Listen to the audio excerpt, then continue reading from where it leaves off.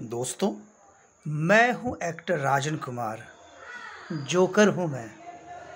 पिछले 20-22 सालों से मैं लोगों को हंसाता हूँ।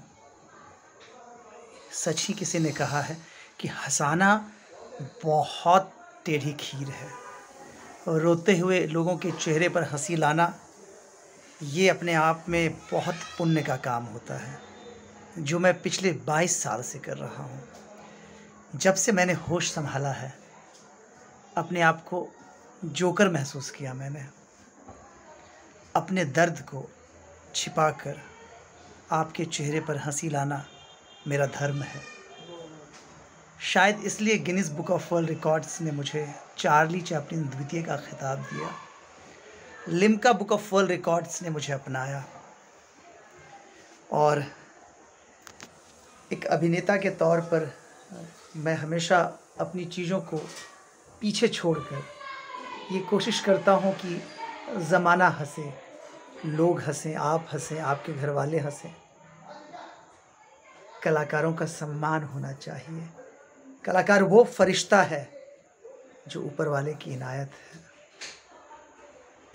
पिछले दो दशक से जिस तरीके से आप लोगों ने अपना प्यार दिया है 2020 का समापन हो रहा है।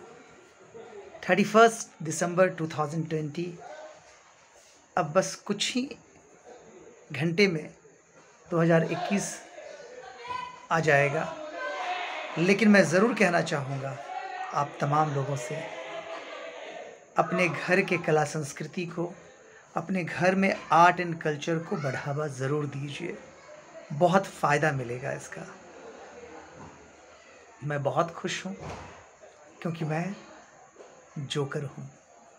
एक जोकर जो आपको आपसे पृथक करता है, आपके गम को आपसे दूर करता है, आपके चेहरे पर हँसी लाता है। आप हमेशा मुस्कुराते रहें, खुश रहें और अपने इस कलाकार चार्ली चैपलिन द्वितीय यानी हीरो राजन कुमार को अपना प्यार देते रहें। Love you all